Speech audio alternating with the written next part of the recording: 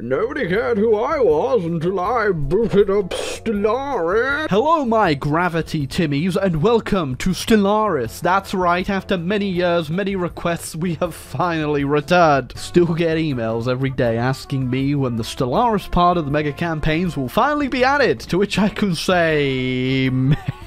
But before we get into the fun of the new Stellaris DLC, I do need to clarify that this video is sponsored by Paradox Interactive themselves. That's right, Stellaris has gone ahead and released their brand new Overlord DLC, which you can go ahead and get by clicking my link down below. It adds a whole branch of new things to do in the game, uh, which, considering it's called Overlord, I think you can already understand that most of the features relate to managing your subjects or being a subject and managing to ruin everything. That's what we're going to do today. So yeah, if you want to go ahead and get yourself the new DLC or Stellaris, go ahead and click the link down below in the description and the pinned comment. And I know you guys have been begging me to come back to Stellaris, so I have the opportunity to try this DLC out early and it's time for my great return to the stars. That's right, if you think I can do terrible things to a map, uh, then you should see what I can do to a universe. Alright, we are actually spoiled for choice in who we want to play today. It's Birdman. Oh,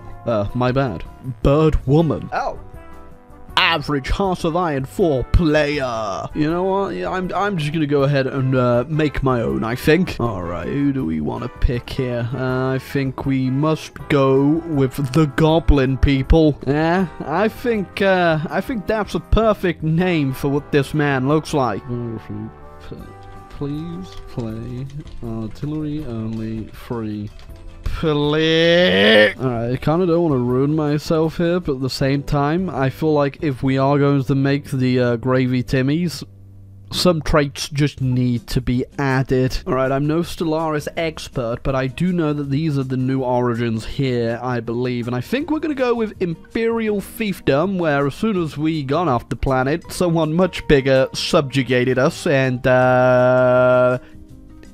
It's not very nice. Look at him. He's he's not happy at all. He wants to rule the galaxy, and how can he do that when we've been subjugated? Yeah, you could uh, you could pick some pretty crazy stuff in Stellaris. I do remember these things. Hey, uh, that's exactly what we needed right there. Reanimation. You know, always got to bring back the dead memes, eh? Yep, never truly free from the uh, Byzantine larpers, even in space. Hey, I think that sums up our uh, nation, or I should say planet, more than anything. We're just looking for love. Colin is lonely. Yeah, you know, I was gonna go ahead and uh, just change this, but I, I'm actually kind of liking Colin Sloan. Colin, you are the man to lead us across this revolution. Maybe we can go ahead and give you some hair at least, and uh...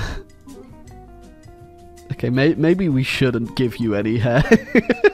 Alright, I got no idea what any of this really means, but I think realistically, uh, I'm probably going to die pretty quickly anyway. You know what? I ain't gonna press any buttons here. We're just gonna go in and we'll figure out what's what. Hey guys, just heard of this thing called space travel. Anybody want to be my friend? Uh-oh, this isn't the type of friendship that I wanted. Okay, seems to me they've added quite a few buttons since the last time I played. Alright, here's our beautiful, holy Pana... Uh, Panzalian, Panax... Panaxalan Empire Overlord. Doesn't them look good. What is that? Why does it look like a moving piece of potpourri? I would love to be independent.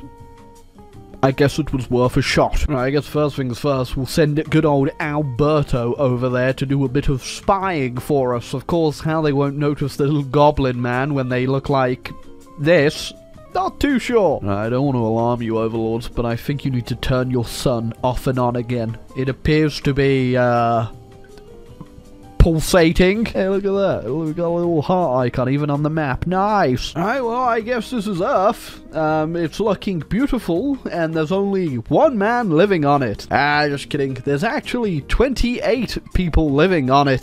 there's, there's 28 gravy timmies. Oh, my holy dried out flower overlord is immediately talking to me, and for now, we're gonna go ahead and just say we are proud to be part of your alliance. Please don't eat me. Oh, look, I think they just gave me the power of boat ship. Uh-oh, uh, the bird people who are slaving despots. Uh-oh, what a settle an embassy. Uh, okay, just what do you have planned for the Gravy Timmies? Oh, Alright, this guy is a fanatic and militarist who wants to do a trade network. I I don't think I have the best neighbors. Alright, we got the Sloth people too, and they are fanatic spiritualists. That's right, we've got Sloth Jedi out here. Hey, ain't Ain't those the things from Men in Black? Hold on. Uh, wait, they are friendly though, and they just want to make some dollar dollar. I can get behind that one. Uh, don't worry though, I'm sending Elon Musk out to go ahead and start mining Mars. We also got our little side ship exploring over here in our next little system and having some fun. Look at it, it's just scanning away. Oh, we've already found a planet where we can colonize. It'll be called Earth 2 fortnight. Oh, I just realised we are mining the sun. Not really sure how that works. Um, do we just have a bunch of Collins over here just staring into the void? Anything for science, sir? You know, Paradox, I may actually bill you for the therapy at some point from seeing this event. Alright, I guess we should go ahead and get a colony ship, and it, why is it called the Australia class? Uh, the colonists also uh, prisoners. Oh yeah, I kind of accepted pretty much every agreement too. So uh, we have uh, a lot of different people who we could put on this boat. Uh, I, I, guess for now we'll just not put the potpourri monsters in there or the men in black aliens. We'll just go with the gravy timmies. Why so serious? Free. Alright boys, have fun. Hopefully there's no giant monsters on here that are gonna eat you. We'll call it Minecraft 2. Oh, uh, apparently it's got high gravity. Uh, I guess that means we're going to be even smaller when we finally go at unstable tectonic. We, it's Japan! Yeah, considering we're little goblin people, uh, I get the feeling we're, uh, we're not going to be doing too well on the uh, extra gravity planet might actually become even shorter. Uh, we'll see though. Uh, the earthquakes might keep us up all night, but you never know. We might get some work done in between all the rebuilding of the buildings that have fallen over. There it is. Minecraft 2. Alright, considering I'm completely winging this so far, I think we're doing alright. Not as good as the Prince Electorate of the Netraxi, though. They seem to be doing a bit better. Uh-oh. Is that good? Where's my overlord? Protect me! Alright, we also gotta go ahead and uh, get Alpha Centauri, and uh, I can think of no better name than... Perfect. I'm sure this won't get confusing. Uh oh. Okay, we got ourselves a election, and Colin, although he has gone ahead and already grown up. Well, it's not an empire or a kingdom. We're just under the the, the flower demons. But he has developed Minecraft 2 and Minecraft 2.2, which means he is the most supported.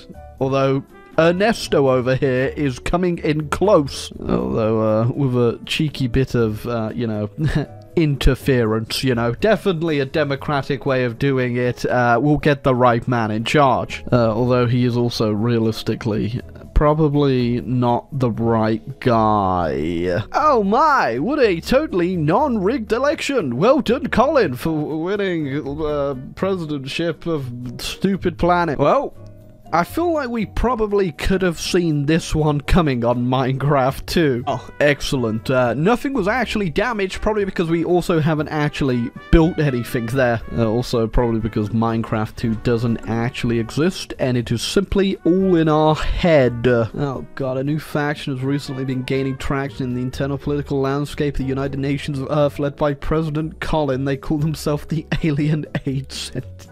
Colin! Oh, watch out, Colin. It's the jellyfish people. I'm pretty sure I've beaten up your friends in a game called Elden Ring before, so for now, I guess we're just gonna go ahead and say go away. Okay, well...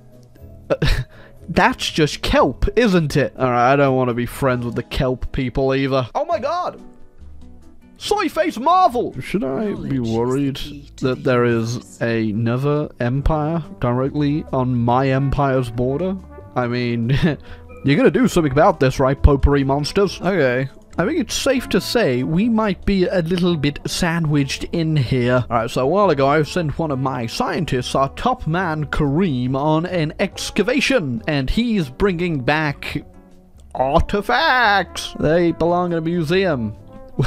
Where's the museum, you may ask? I'm still looking for it myself. Oh, well, the Prince Electra has declared war on the Saiban Politi. Oh, uh, what does that mean? I'm not too sure, but you guys are looking pretty big. And our Overlord, not so big. Yeah, not too sure what's actually going on down here, though. Would love to see and get involved. Uh, this is absolutely stupid, but we gotta spice this up somehow, so I'm declaring war on the jellyfish people. How will it go?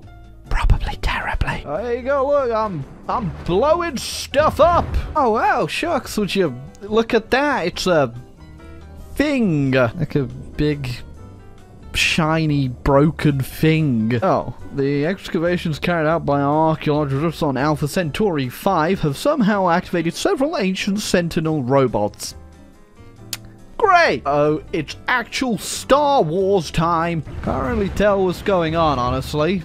Uh, but we may be winning, or we may be losing. Oh, I think we actually just won. I am a Stellaris professional. Alright, be warned. Look away if you have any sensory issues when it comes to light for the next five seconds.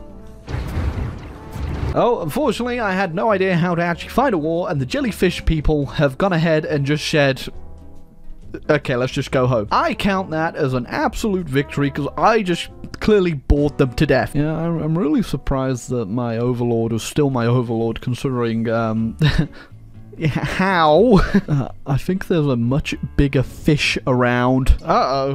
Uh, well, apparently Minecraft 2 is a little bit upsetting spaghetti. Uh, pretty cool thing is, if you've played CK3, you already know this, you can go ahead and actually uh, negotiate what your contract is with your overlord. Although for us, uh, they won't pretty much accept anything because we are the bulwark. Which yeah, it's pretty simple. If we wanted to just uh, go ahead and give them something in return for maybe like having more resources resources, we could do that. But uh, for now, I guess we'll just stay on Bulwark because I want to go back to war. I spectacularly failed once I'm ready to do it again. Never mind. The Empire collapsed. Well, I guess everyone's going for a free-for-all here. Which means I can now go ahead and subjugate one of the people next to me if I had enough little power. But I don't. So I will declare war on them. Oh, uh, never mind. I can't go to war with them because they've immediately been snatched up by, uh, clearly the bigger fish around. Don't mind me. Just bombing Zudra 1. Oh, someone's created the galactic community where we get to vote on fun stuff like the birth of the galactic market. I support it! Go ahead, Alberto, tell them how much I love their idea.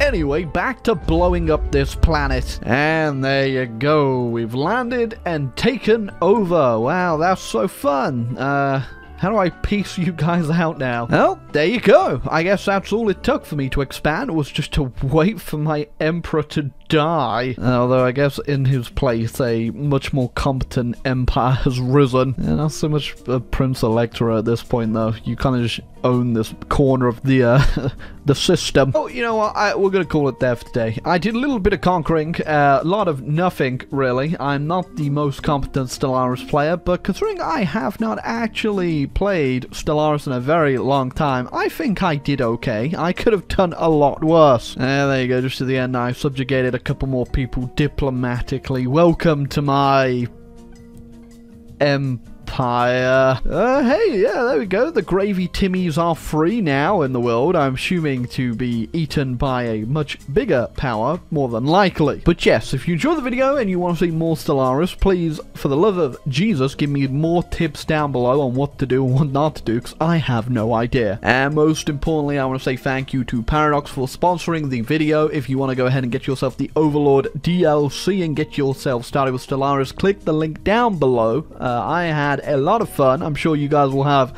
a lot more fun as you'll probably know more than I do. And yes, if you enjoyed the video, feel free to leave a like, hit the subscribe button down below, and uh, I'll catch you all on the flippity flip.